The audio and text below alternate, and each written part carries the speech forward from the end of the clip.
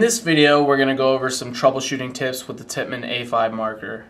This particular video is going to cover maintenance tips and troubleshooting tips on valve leaks or just any leak in general with the Tippmann A5 marker. I'm going to first kind of demonstrate what this particular marker is doing. And this marker does have a leak, so we'll just kind of show you. You can kind of hear that leak seems like it's coming down the barrel um, or around the valve assembly where the tombstone actually connects to the valve. And you also hear a little bit coming down the barrel. I usually like to just start off by, you know, airing up the gun, listening for the leak, trying to figure out where the, you know, the leak's coming from. Um, so we know it's coming from this area of the gun. We'll go ahead and uh, we'll dig into it and try to figure out where that leak's coming from. Um, so we'll first start off by removing our push pins and we're going to disassemble the gun and try to get to that main valve area. So we'll go ahead and remove our push pins and as you can see um, the end cap just kind of popped out there. You want to make sure that your marker's not cocked back or you'll actually get that end cap to shoot across the room. So always make sure that your gun's you know bolt is forward. Go ahead and remove your uh, guide pin and your drive spring. And we'll remove our grip frame here. And pull our tombstone latch and pull the tombstone out. I usually like to go through and inspect the tombstone. Um, some of the leaks can actually be caused by the tombstone. Um, you know, the face of that tombstone where the O-ring seats. Um, you know, you can actually get, you know, a piece of dirt or debris or scratch somewhere where that tombstone seats. So you want to make sure that this is nice and smooth, clean, um, kind of free and clear of any kind of dirt or debris or anything like that. Just kind of go through and inspect it, make sure it's nice and smooth. And we'll just go ahead and set that off to the side. And we'll go ahead and remove our valve assembly. Now, um, usually what I like to do is just take the marker, kind of invert it, and just give it a shake. And you can get the bolt assembly to kind of slide out of the back here. And then from there, just grab it by the bolt and linkage arm and just kind of slide everything right out of the back end there. Okay, now we'll go ahead and remove our front bolt, linkage arm, and rear bolt. And we'll take a look at this uh, this valve assembly here. Now what I have in my hand is just the uh, power tube assembly. And we'll try to get a close up here, but here's the power tube assembly. Your valve is actually on the inside of the power tube assembly. A lot of people call and they say that their power tube's leaking. It's not the power tube. The power tube is just a plastic piece that houses the valve. Now the valve is usually what's leaking and as you can see that was our valve washer that kind of fell out there and I think what's wrong with this particular valve is that it was just uh, you know reassembled wrong and uh, we'll go ahead and take a look at that. Um, you can kind of see we have our uh, large valve o-ring our spring our uh, plunger kind of get everything out here.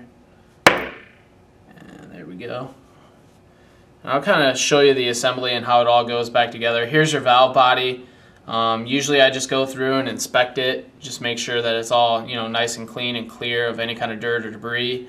Um, you can see on the inside of that valve body there's an O-ring that sits at the base there.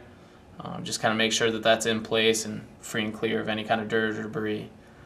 Then we have uh, this brass, you know, kind of washer looking thing. Um, this is actually just the valve seat, okay? And this will sit at the base of the valve, and that's actually what your plunger goes through and creates a seal. So you can kind of see it, it looks like a brass washer, kind of have, have a top hat look to it. Um, we'll go ahead and just, you know, you can kind of see there's a little ridge right there at the top, and that's where your valve plunger actually seats. So we'll just go ahead and drop that into place and it looks like it dropped in just fine. We'll kind of get even a better better shot than that just to kind of show you how it's supposed to sit in there. and you can kind of see that little rim right there. You want to make sure that that's kind of facing the top, and I'll, I'll bring it out one more time. You got that top hat. This should be facing towards the bottom, and that little ring will be at the top. So we'll go ahead and drop that back in there. And if it doesn't sit correctly, just kind of give it a shake and it'll fall into place. And then what I'll do is uh, I usually like to take some kind of tool. You want to get the valve seat kind of seated correctly. So what I usually do is just take something and just kind of lightly press it back into the uh, valve body.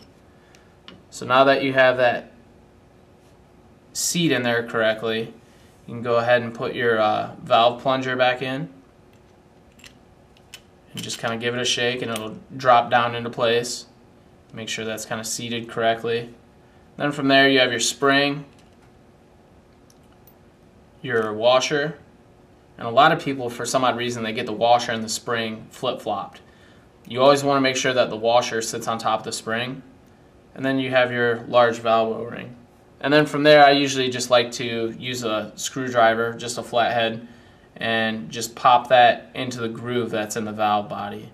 So you're just going to go ahead and just kind of work your way around and just pop it all back into place. And as you can see, it, it sits flush with the uh, top of the valve body. So now that we have our valve assembled correctly, we'll go ahead and uh, put our marker back together. go ahead and take your valve assembly and drop that into the power tube. Just kind of tap that until it seats and as you can see, you got that rectangular opening there. Go ahead and slide your front bolt back onto the power tube. We'll go ahead reconnect our linkage arm to the rear bolt. Reinsert that into the receiver. And if you start to notice that you're getting a little friction in this area, um, that's kind of normal. Um, but you don't want to push on that rear bolt because it'll actually pop all the internals out of your valve assembly. So what you can do is uh, that rectangular opening in the uh, power tube assembly, you can just kind of, you know, take a tool, put it into that rectangular opening, and just kind of pull everything towards the barrel. And you, you know, you want to do this real carefully. I mean, you can damage the power tube if you too, put too much force on it. And one real easy thing to do would just loosen up those receiver bolts, and then it should gently slide towards the front of the marker or the barrel. And then from there, just go ahead and reinstall your tombstone adapter. Always make sure that you put your push pin back in place in front of your tombstone. If you don't have that in there, sometimes what will happen is your tombstone will kind of slide down and the valve O-ring will actually pop up over the tombstone. So you want to make sure that you always have that push pin and tombstone latch in place. So we'll go ahead and reinstall our grip frame. put our uh, drive spring and guide pin back in place, our end cap.